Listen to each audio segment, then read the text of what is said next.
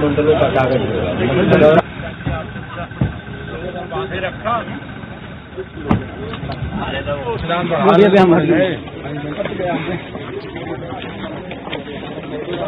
Party में pattern बदला बड़ी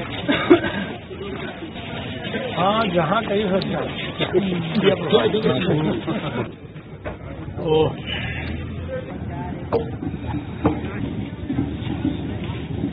प्रधानमंत्री आगामी 29 तारीख को गाजीपुर पधार रहे हैं। उनके कार्यक्रमों की जो संगठन ने तैयारी की है, उनके अभिनंदन की।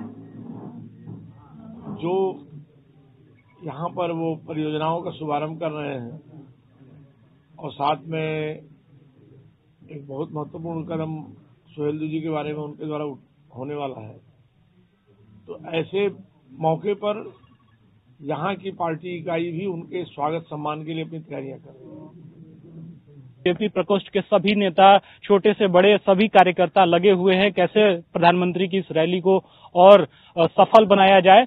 और सबसे बड़ी बात यह है कि सुहेल देव समाज पार्टी के अध्यक्ष ओम प्रकाश राजभर ने, राजभर समाज के लोगों से इस रैली का बहिष्कार करने की बात कही है, लेकिन इस रैली को अगर हम बात करें तो इस रैली में राजभर समाज के लोग आएँगे या नहीं, ये देखने वाली बात होगी। और राजभर समाज को लाने का जिम्मा अनिल राजभर को दिया गया है, जो बीजेपी के नेता हैं और कैबिनेट में मंत्री भी हैं।